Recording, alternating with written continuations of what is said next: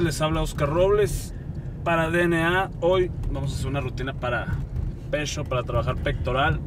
Vamos a hacer cuatro ejercicios en biserie. El primero va a ser pecho horizontal combinado con crossover.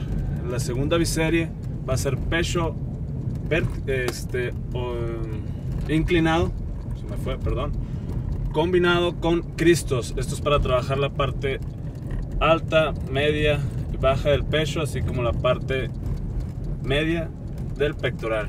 Para trabajar completamente el pectoral y se pongan bien mamados. Ok. Espero les guste la rutina. Les mando un saludo a todos.